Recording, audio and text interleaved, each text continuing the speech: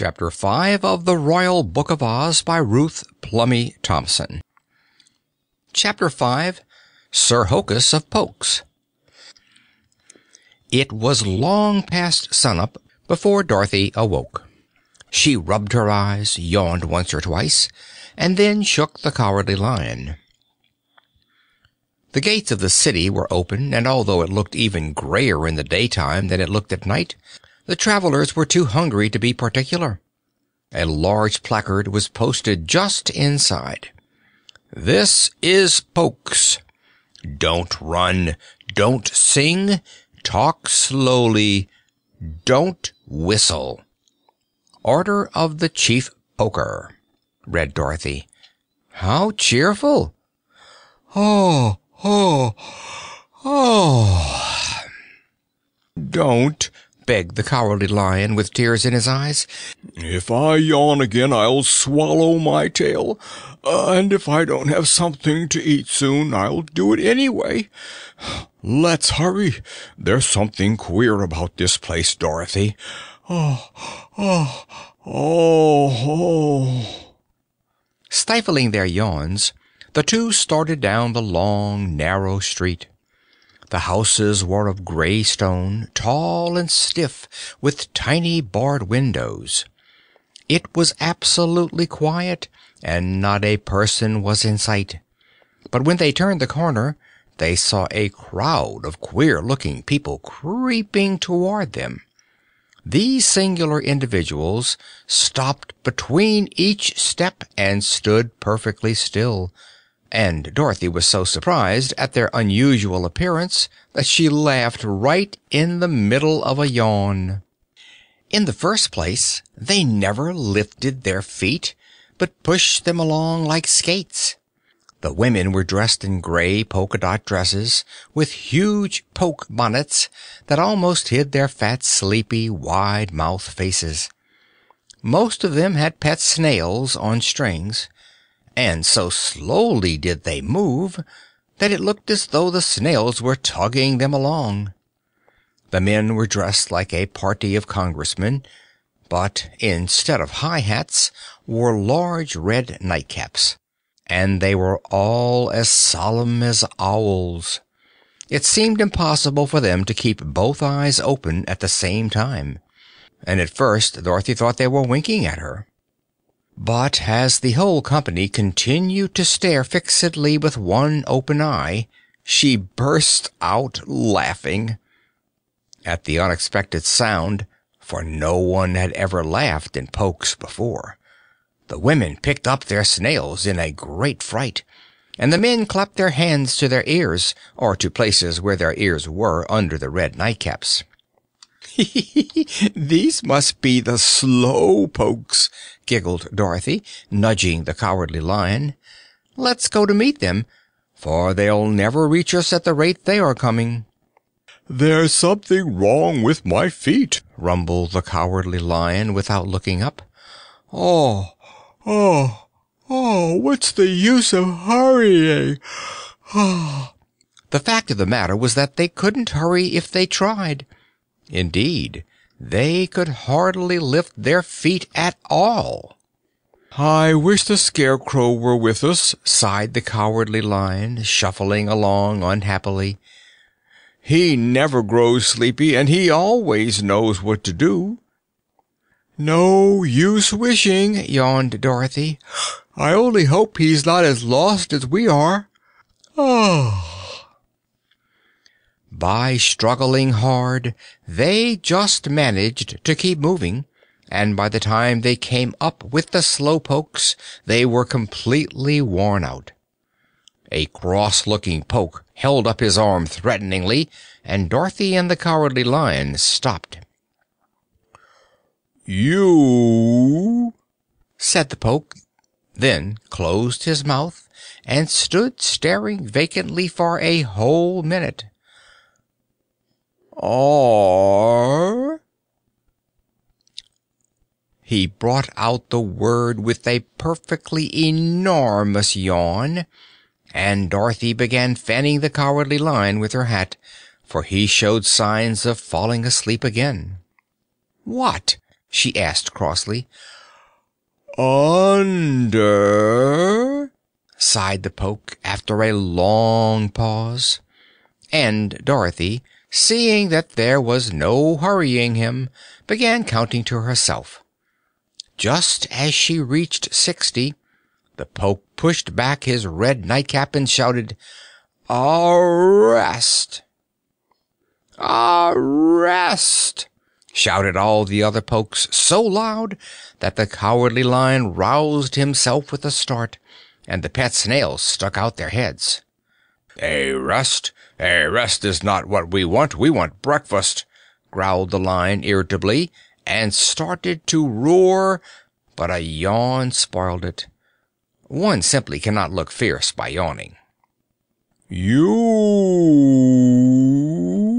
began the poke, but Dorothy could not stand hearing the same slow speech again. Putting her fingers in her ears, she shouted back, "What for?" The pokes regarded her sternly. Some even opened both eyes.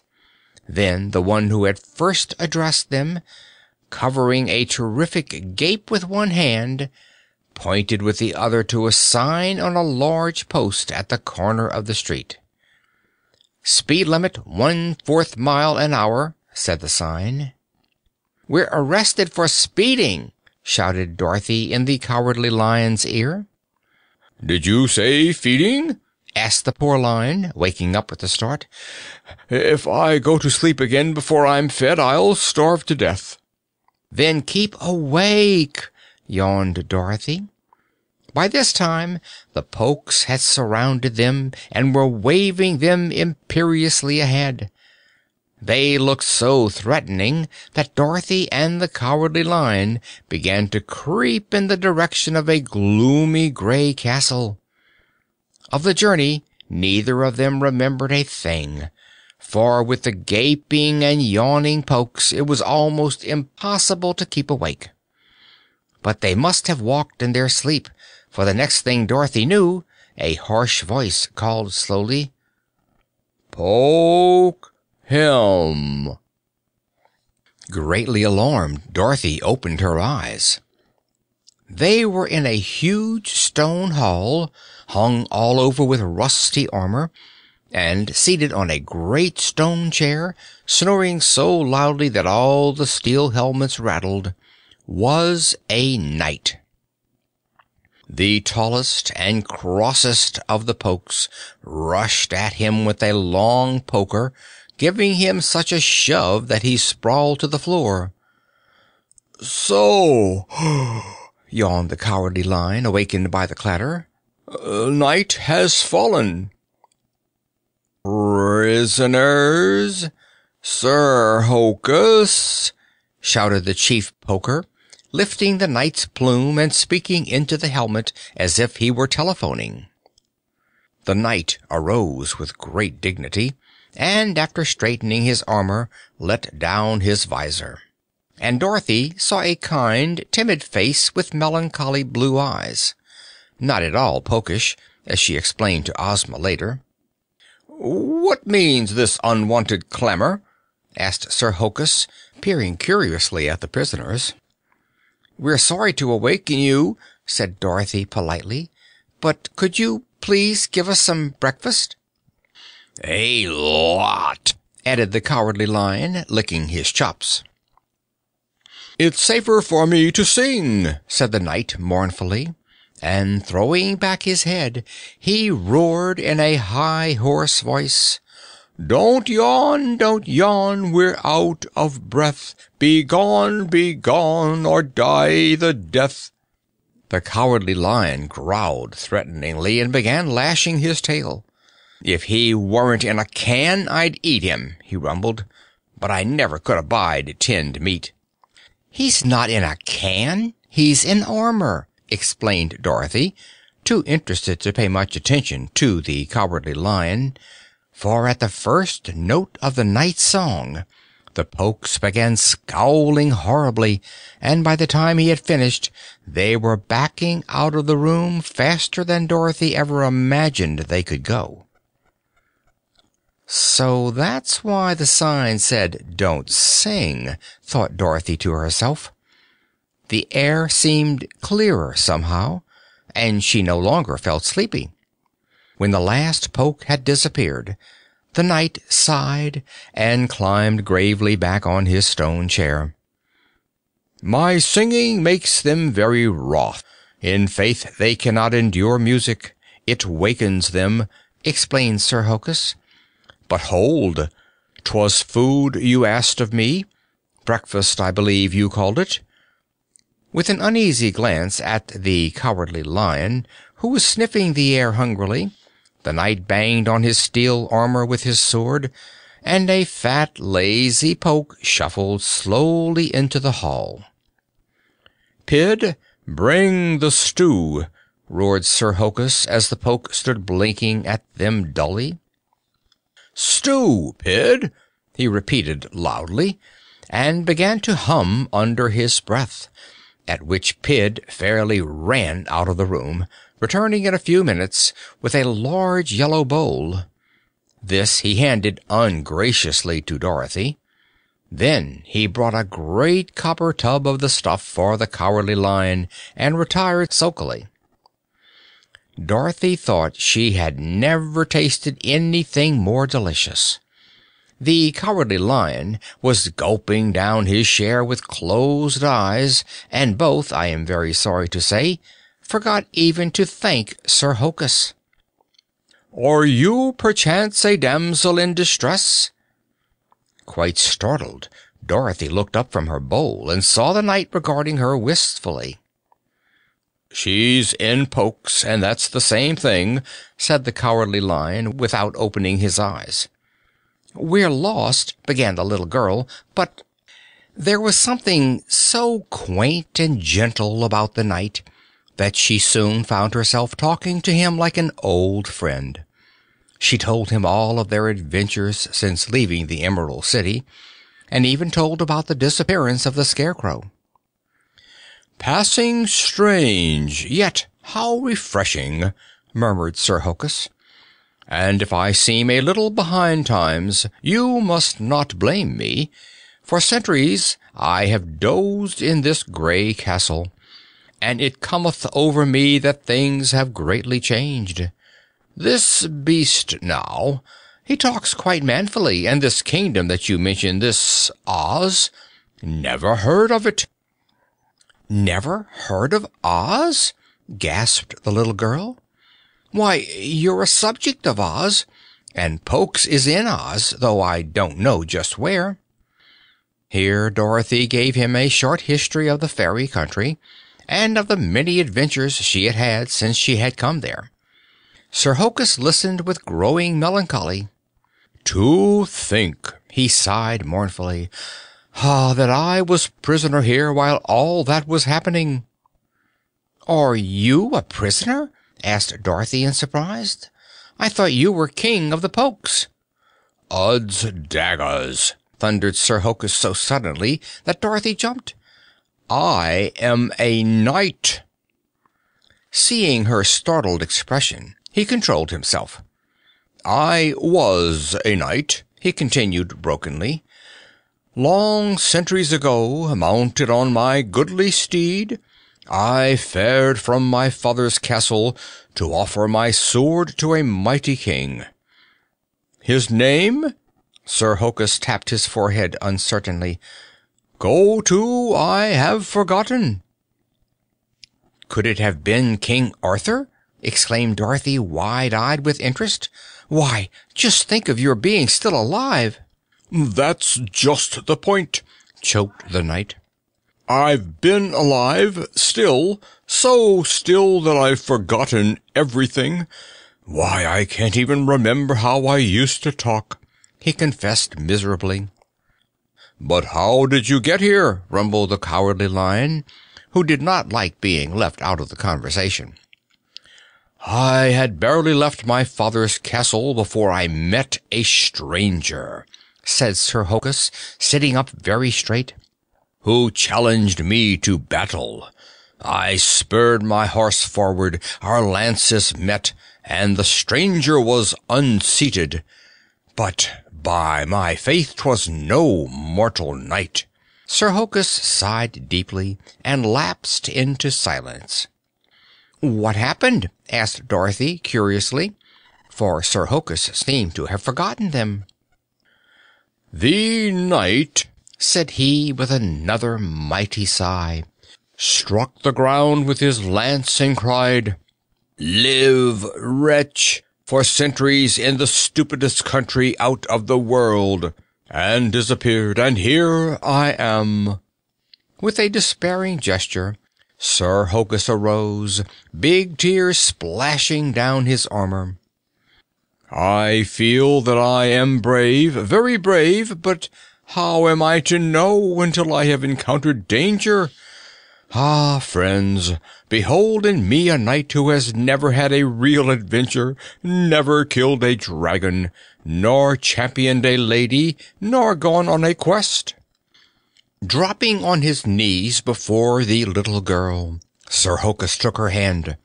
"Let me go with you on this quest for the valiant Scarecrow.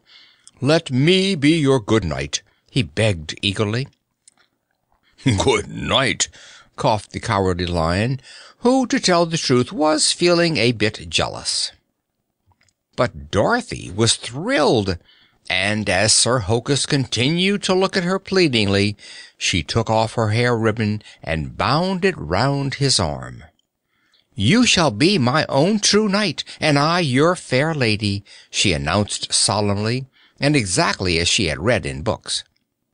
At this interesting juncture, the Cowardly Lion gave a tremendous yawn, and Sir Hokus, with an exclamation of alarm, jumped to his feet. The Pokes had returned to the hall, and Dorothy felt herself falling asleep again. Up, up, my lieges, and away! We take the field again. For Lady Fair we fight today, and King, up, up, my merry men! shrilled the Knight, as if he were leading an army to battle. The Pokes opened both eyes, but did not immediately retire. Sir Hokus bravely swallowed a yawn and hastily clearing his throat, shouted another song, which he evidently made up on the spur of the moment. Avaunt, be off, be gone, methinks we'll be asleep in forty winks. This time the Pokes left sullenly, but the effect of their presence had thrown Dorothy, the Cowardly Lion, and the Knight into a violent fit of the gapes.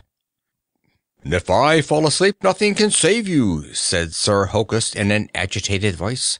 "Oh, oh, oh, oh!"